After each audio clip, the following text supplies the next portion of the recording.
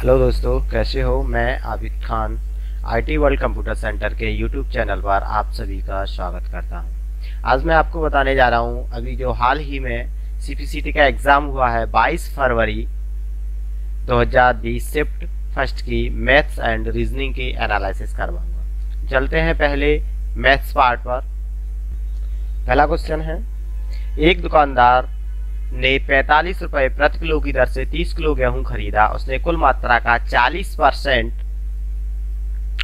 पचास प्रति किलो की दर से बेचा। 25 परसेंट समग्र लाभ अर्जित करने के लिए उसे प्रति किलो लगभग किस कीमत पर शेष मात्रा में बेचना होगा देखो, लगभग मान उसने पूछा है ना ये एग्जैक्ट मान नहीं पूछा है। तो अपन, देखो, पहले तो ये पैंतालीस रुपए प्रति किलो की दर से तीस किलो गेहूँ खरीदा है तो टोटल रुपए कितने खर्च हुए उसके? तो टोटल कितने होंगे? पैतालीस इंटू तीस। तो ये हो जाएगा पैतालीस दिया, एक सौ पैतीस, तेरह सौ पचास रुपए।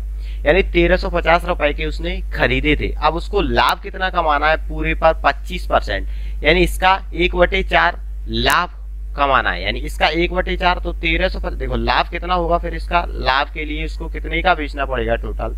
तो लाभ होना चाहिए तेरह सौ पचास का। पच्चीस परसेंट, पच्चीस बटे सौ, यानी ये होता है एक बटे चार, पच्चीस पच्चीस पच्चीस एक, सौ, चार का इसमें भाग दे दो, चार ती बारह, चार ती बारह, और तीन, तीस सत्तर अट्ठाईस, और बीस हुआ तीन सौ सैंतीस पॉइंट पाँच। यानी लाभ तीन सौ सैंतीस पॉइंट पाँच, इतना और जोड़ के टोटल रुपए इसको कितने कमाने हैं? टोटल आर एस की बात करें तो अपन को कितने कमाना है? तेरह सौ पचास प्लस तीन सौ सैंतीस पॉइंट पाँच, है ना? ये हो जाएँगे सोलह सौ सतासी पॉइंट पाँच यानी इतने रुपए का उसको बेचना है। अब देखो, उसने बेचा किस हिसाब से है? पहले तो उसने कुल मात्रा का 40 परसेंट, पचास प्रति किलो की दर से बेचा। यानी 40 परसेंट, कुल मात्रा कितनी थी? 30 अब 30 का 40 परसेंट क्या होता है? देखो, मैंने पहले भी बताया है कि इस तरीके से अगर कोई संख्या लिखी हो तो इसका 10 परसेंट एक पॉइंट के बाद लगा दो, और अगर एक परसेंट निकालना हो तो दो अंक के बाद लगा दो। तो अगर 40 परसेंट निकालना मुझे 10 परसेंट तीन होगा तो 30 का 40 परसेंट क्या हुआ 30 का चालीस परसेंट क्या हुआ? तीन चौके बारह के जी अगर बारह के जी को उसने किस हिसाब से बेचा है? पचास रुपए किलो से तो टोटल रुपए कितने हो जाएँगे? बारह इंटू पचास इजिकल टू छह सौ रुपए।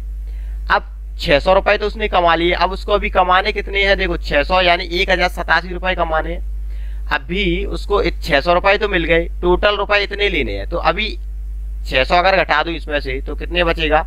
सोलह सौ सतासी माइनस छह सौ इजिकल टू एक हज़ार सतासी, यानी इतने रुपए अभी उसको कमाने हैं। तो अब उसके पास कितना गेहूँ बचा? देखो, पहले कितना था?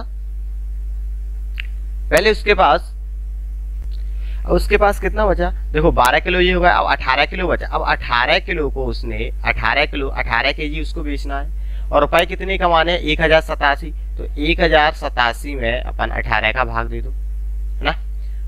अठारह छक्के एक सौ आठ। अब सात है भागन टूटे की बिंदी।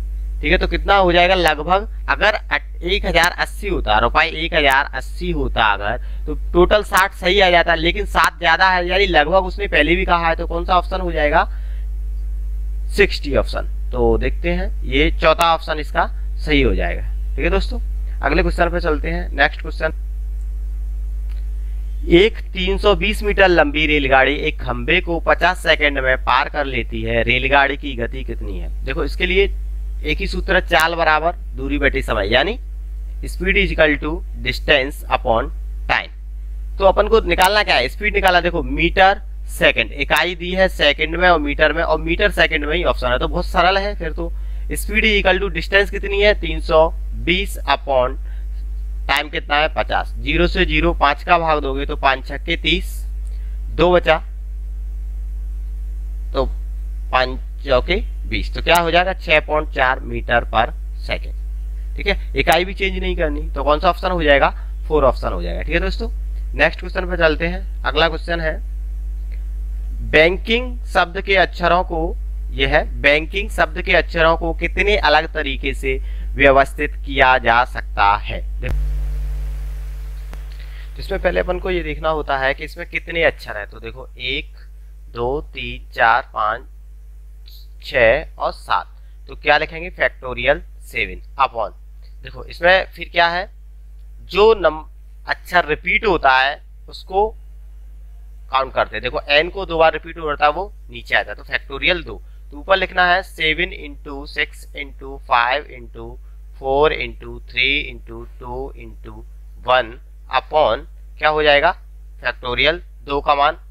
क्या हो जाएगा? टू इंटू वन अब दो से ये कट जाएगा। अब क्या बचेगा? चार तीन बारह बारह पंजे, साठ। छकनक छत्तीस इंटू सात। तो छत्तीस इंटू सात कितना मान हो जाएगा? छत्तीस इंटू सात देखें, छत्तीस, यानी तीन सौ साठ इंटू सात। तो क्या हो जाएगा? ज़ीरो सचक बयालीस की दो, हासिल की चार सात इक्कीस चार, पच्चीस। यानी पच्चीस सौ बीस अपना आंसर हो जाएगा। ठीक है दोस्तों, अगले क्वेश्चन पे चलते हैं। अब इसका, ये देखते हैं कौन सा ऑप्शन है। इसका, ये ऑप्शन हो जाएगा पच्चीस सौ बीस, यानी फोर्थ ऑप्शन अपना सही होगा। ठीक है दोस्तों? नेक्स्ट क्वेश्चन पर चलते हैं अपना। अगला क्वेश्चन है।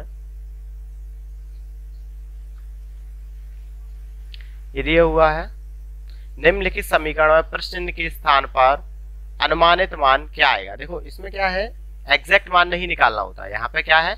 एग्जैक्ट मान नहीं निकालना, अनुमानित मान निकालना है। तो देखो थ्री थ्री नाइन देखो थ्री थ्री नाइन अपन को पता है कि तीन सौ चौबीस तीन सौ चौबीस, अठारह का स्क्वायर होता है, ठीक है? और उन्नीस का स्क्वायर होता है तीन सौ इकसठ, या ये किसका होता है? उन्नीस का। तो तीन सौ उनतालीस को या तो अठारह मान लू या फिर उन्नीस मान लू। तो ये लिखा हुआ है तीन सौ उनतालीस इंटू पच्चीस, ये कोष्टक में, और भागित तीस। तो पहले तो अपन को कोष्टक को सॉल्व करना होता है तो क्या लिख दू इसको? अठारह इंटू पच्चीस, ठीक है? अब जो भाग का चिन्ह हटेगा तो नीचे जाएगा तो एक बटे तीस। तो इसको काट दू मैं पाँच छक्के तीस पचम पच्चीस, छह से छैतिया अठारह। तो कितना हो जाएगा? पंद्रह आंसर। ये लगभग में पूछा है तो पंद्रह पंद्रह ही दिया है तो यही हो जाएगा लगभग में थोड़ा कम या बड़ होता, पॉइंटों में दिया होता तो वो आंसर हो जाता। तो कौन सा आंसर हो जाएगा इसका? Fifteen answer. ठीक है दोस्तों, अगले क्वेश्चन पे चलते हैं। नेक्स्ट क्वेश्चन है अपना। कॉलेज में छात्रों की कॉलेज में छात्रों की कुल संख्या में से 12 परसेंट खेल में रुचि रखते हैं। छात्रों की कुल संख्या में से तीन बटे चार नृत्य में रुचि रखते हैं। छात्रों की कुल संख्या में से 10 परसेंट गायन में रुचि रखते हैं। शेष पंद्रह छात्रों की किसी भी गति में रुचि नहीं है। कॉलेज में छात्रों की कुल संख्या देखो, कॉलेज देखो, हर चीज़ एक सौ परसेंट में रहती है। ठीक है तो 100 परसेंट में यानी जो चीज़ है एग्जैक्टली वो है। अब उसमें से क्या कहा है उसने? कॉलेज में छात्र कुल संख्या में से बारह परसेंट खेल में रुचि रखते हैं। कितना? बारह परसेंट खेल में चले गए। ठीक है। फिर उसने कहा, छात्रों की कुल संख्या में से तीन बटे चार नृत्य में चले देखो, तीन बटे चार असल में होता क्या है? तीन बटे चार को अगर मैं परसेंट के रूप में सोचूं कि इसको मुझे तीन बटे चार को परसेंट बनाना है तो मुझे परसेंट का चिन्ह लगाना होता है तो क्या करते हैं? सौ का गुणा कर देते हैं। और परसेंट का चिन्ह लग जाता है। ये रहता तो चार से इसको काटूँगा तो क्या हो जाएगा? पच्चीस, यानी पच्चीस थी पचहत्तर परसेंट। वैसे सभी लोग जानते होंगे इसको कि तीन बटे चार को पचहत्तर परसेंट बोलते हैं। तो पचहत्तर परसेंट ये है किसमें हुआ है? नृत्य में हो गए। तो ये रहा पचहत्तर परसेंट हो गया। अब इसका देखो, आगे दिया हुआ है दस परसेंट गायन में प्लस दस परसेंट। गायन में होगा तो टोटल कितना हो गया? बारह, दस, बाईस और पचहत्तर टोटल नाइन्टी सेवन परसेंट ठीक है? तो अब शेष कितना बचा? पंद्रह छात्र। और वैसे परसेंट में देखें तो अपन कितना बचा? तीन परसेंट तो जो टोटल छात्र है, उसका तीन बटे सौ, यानी तीन परसेंट ही कितना होगा? पंद्रह होगा। तो तीन से इसको काट दू, तीन पंजे पंद्रह। तो टोटल छात्र कितने हो जाएँगे? पाँच सौ। ठीक है दोस्तों? इस तरीके से अपन निकाल सकते हैं। तीन बटे चार पिछहत्तर परसेंट होता है, ये आपको पता होना चाहिए। ठीक है? नहीं तो आपको निकालना पड़ेगा। नेक्स्ट क्वेश्चन पे चलते हैं। नेक्स्ट क्वेश्चन है।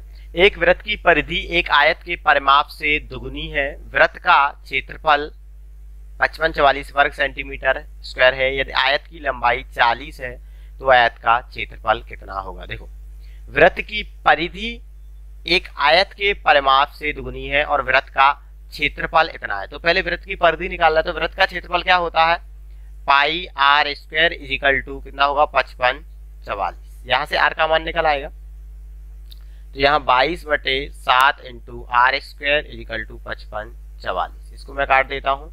ग्यारह से ग्यारह दूनी बाईस, ग्यारह पंजी पचपन, चार में जाएगा ज़ीरो, ग्यारह चौके चवालीस। दो से इसको काट दू मैं।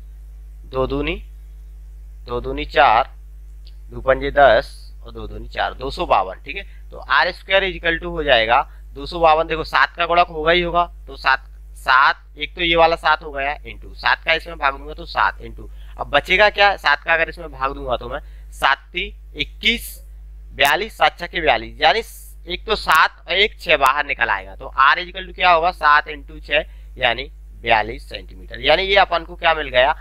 इसकी त्रिज्या मिल गई। अब देखो व्रत की परिधि कितनी होगी? अगर परिधि की बात करें तो व्रत की परिधि होती है पैरामीटर टू पाई आर। तो टू इंटू बाईस बटे सात इंटू आर क्या हो जाएगा? बयालीस। सात से सात छके बयालीस अब छह दूनी बारह बारह इंटू बाईस तो पैरामीटर टोटल कितना हो जाएगा?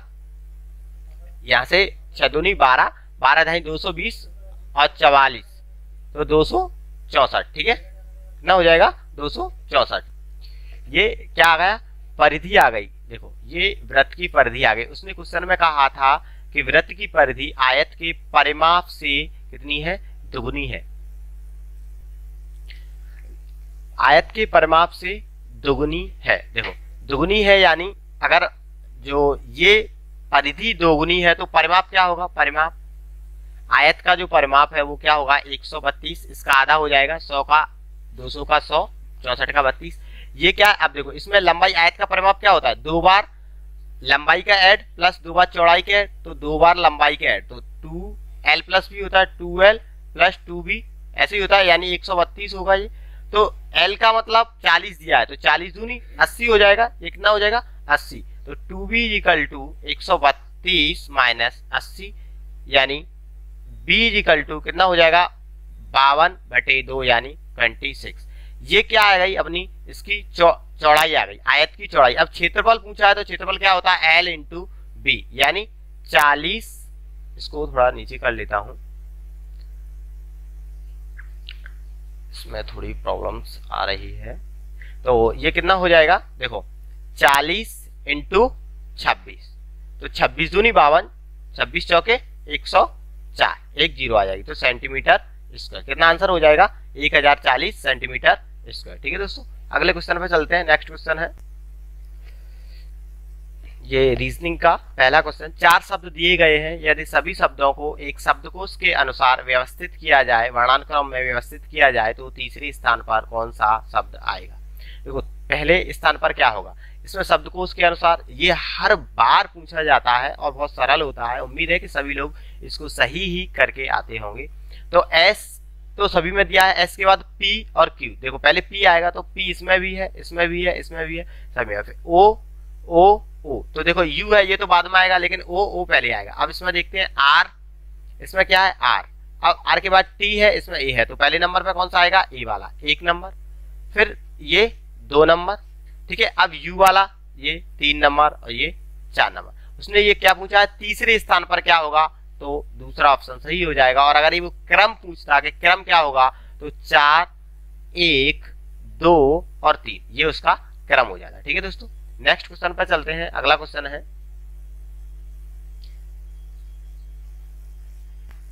ये क्वेश्चन दिया है निम्नलिखित में कि एक तरफ़ दिए गए दोनों शब्दों के बीच एक निश्चित संबंध है और समानुपात के दूसरी तरफ़ एक शब्द दिया गया है, जबकि दूसरा शब्द दिए गए विकल्पों में से इस प्रकार प्राप्त किया जाना है, जिससे दोनों शब्दों के बीच ठीक उसी प्रकार का संबंध स्थापित हो जाए।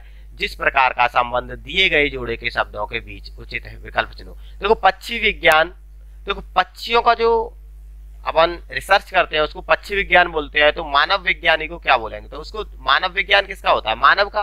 तो मानव का अपन रिसर्च कर रहे हो तो उसको मानव विज्ञान बोलते हैं तो कौन सा ऑप्शन हो जाएगा? थ्री ऑप्शन हो जाएगा। ठीक है दोस्तों? अगला क्वेश्चन चलते हैं। नेक्स्ट क्वेश्चन इसमें कुछ समझाने का ज़्यादा नहीं था। अगला क्वेश्चन है ये, आपके स्क्रीन के ऊपर ये रहा। दिए गए प्रश्न का उत्तर देने के लिए अक्षरों, अंकों और प्रतीकों की निम्नलिखित व्यवस्था को ध्यानपूर्वक पढ़ें।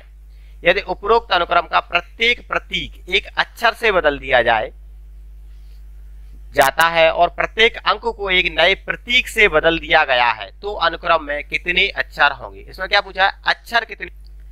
तो इसका ये रहेगा, देखो, इसमें उसने ये कहा है, अपन को गिनना क्या है? अनुक्रम में कितने अक्षर होंगे? अपन को अक्षर देखना है, ठीक है? तो अनुक्रम का प्रत्येक, प्रतीक एक अक्षर बन रहा है, यानी प्रतीक है, वो भी एक अक्षर बन रहा है, आगे दिया गया है, प्रत्येक अंक एक नए प्रतीक के रूप में, यानी अंक प्रतीक बन रहा है। तो अपन को क्या देखना है? अंक को तो गिनना नहीं है, क्योंकि अंक बन रहा है प्रतीक, अपन को अक्षर चेंज नहीं हो रहा तो अक्षर को गिनेंगे, और प्रतीक एक अक्षर बन रहा है, क्योंकि प्रतीक चेंज करने के बाद अक्षर बन जाएगा तो उसको प्रतीक को भी गिनेंगे, क्योंकि ये जो, जैसे ये प्रतीक है, ये चिन्ह है तो ये क्या अक्षर बनेगा? कोई भी अक्षर बन जाए ए बी सी डी ये प्रतीक है, ये अक्षर बनेगा। ये प्रतीक है, ये अक्षर बनेगा, ये प्रतीक है, ये अक्षर बनेगा, ठीक है? और कौन सा प्रतीक है? और नहीं है। और अब गिनना है अपन को तो देखो, ए से एक, दो, तीन, चार, पाँच छ अब इसको गिनना है। सात, आठ, नौ, दस, ग्यारह, बारह, तेरह, चौदह, पंद्रह और सोलह। कितने हो गए? सोलह, ठीक है? तो कौन सा ऑप्शन सही हो जाएगा? ना, सोलह वाला ऑप्शन सही हो जाएगा। थ्री नंबर पे अपन को सोलह दिया है तो ये ऑप्शन ना? सही हो जाएगा, ठीक है दोस्तों? अगले क्वेश्चन पे चलते हैं नेक्स्ट क्वेश्चन है। पता लगाएँ कि कौन सी, पता लगाएँ कि कौन सी अक्षर श्रृंखला दिए गए नियम का पालन करती है? श्रृंखला में निकटवर्ती अक्षरों के बीच में छोड़े गए अक्षरों की संख्या स्थिरांक है, यानी बराबर है। देखो, इसमें एस पी अच्छा इसमें देखो, घट रहा है। अगर अपन इधर से चेक कर ले तो बहुत अच्छा लगता है, क्योंकि बढ़ती जाती हैं तो सरल पड़ता है, घटते हैं तो थोड़ा सा कंफ्यूज होते हैं। देखो जी एच आई जे यानी दो एच और आई दो इनके बीच में पड़े। अब इसमें देखते हैं। जे के एल एम यानी इसके बीच में क्या हो जाएगा? इसमें के बीच में क्या हो जाएगा? जे के एल यानी के एल यानी दो आ रहे हैं। देखो M N O P N O आ जाएगा इसके बीच में। क्यू आर एस यानी क्यू आर आ जाएगा। यानी इनके बीच में दो दो है, अब इनके बीच में देख लेते हैं, देखो। जे के एल यानी एक है एम एन यानी एक है ओ पी यानी एक है क्यू आर देखो क्यू आर एस यानी दो है दो है। यानी यहाँ पे तो एक था, और यहाँ पे जाके कितने हैं? दो है। तो ये सही नहीं होगा, ठीक है? क्योंकि बराबर होना, उसने पूछा था इसमें कि स्थिरांक, यानी बराबर होना चाहिए। तो इसको देखें, जैसे जे के एल एम एन ओ देखो, यहाँ पे एक का, यहाँ पे दो का तो ये गलत हो जाएगा। क्यू आर एस टी देखो क्यू के बाद हाल ही आर आ गया, और आर के बाद एस आएगा बीच में जब टी आएगा। यानी यहाँ पे तो गैफ नहीं है, यहाँ पे गैफ है तो इनको नहीं माना जाएगा। यहाँ पे बराबर बराबर गैफ है तो कौन सा ऑप्शन सही हो जाएगा? ना, दूसरा ऑप्शन सही हो जाएगा। सॉरी पहला ऑप्शन सही हो जाएगा। ठीक है दोस्तों? अगला क्वेश्चन देखते हैं। नेक्स्ट क्वेश्चन निम्नलिखित में से क्या फेफड़े ग्रसनी और श्वास निका जैसा है। फेफड़े ग्रसनी और श्वास नलिका होते हैं, जो फेफड़े में ग्रसनली और श्वास नलिका, ये सांस लेने की ये ही यूज़ होते हैं। ये अपन बायोलॉजी पढ़ेंगे जब तो और अच्छे से समझ में आएगा। तो एल्वेलियो ये भी फेफड़ों में ही होती है, ये सांस के ही काम आती है। फेफड़ों के पास ही रहती है ये नली। ठीक है तो ये फेफड़ों से संबंधित है। सांस लेने की काम आती है, पसलियाँ अलग हो जाती हैं घेंगा एक रोग है, नेफ्रॉन अलग चीज़ है। ठीक है? अगला क्वेश्चन है। नीचे चार शब्द दिए गए हैं, उनमें से तीन शब्द किसी तरीके से एक समान गुण वाले हैं, लेकिन कोई एक चौथा शब्द उन तीन से भिन्न है, उनमें भिन्न और वन शब्द का पता लगाए। देखो, चट्टान घाटी, दर्रा सकरी घाटी। देखो, चट्टान घाटी, दर्रा और सकरी घाटी एक तरीके की ऐसी होती है जैसे एकदम से नीचे होगी, है ना? और चट्टान ऐसी होती है जैसे धीरे धीरे धीरे धीरे अपन चढ़ते जाओ उसमें। एक चोटी के रूप में होती है क्लिफ है ना? और घाटी नहीं होती। घाटी या दर्रा एकदम से नीचे होते हैं, एकदम से कटे हुए, जैसे बराबर से प्लेन कोई जगह है, उसमें एकदम से दर्रा दिया गया हो तो उस तरह की रहती है, घाटी और दर्रा। घाटी, दर्रा एक जैसे होते हैं, सकरी घाटी या घाटी बोले सकरी होगी या बड़ी होगी, और दर्रा दर्रा भी उसी तरीके का रहता है। ठीक है तो ये तीनों किसी ना किसी तरीके से एक संबंधित और चट्टान एक अलग चीज़ है, चट्टान तो ये चट्टान ऑप्शन सही हो जाएगा, ठीक है? चट्टान एक क्लिप जैसा होता है, ऊपर चढ़ते जाओ, ठीक है? नीचे चौड़ी, ऊपर जाके एकदम छोटी सी बन जाती है उसकी, है ना? तो इस तरीके से अपना ये पूरा हुआ रीजनिंग ठीक है दोस्तों? अगले पेपर में फिर मिलेंगे, फिर मुलाकात होगी। इसमें थोड़ी प्रॉब्लम्स आई थी स्क्रीन की, लेकिन कोई दिक्कत नहीं है। अगली बार वो सही हो जाएगी, उम्मीद है। ठीक है दोस्तों, अपना ख्याल रखें टेक केयर थैंक यू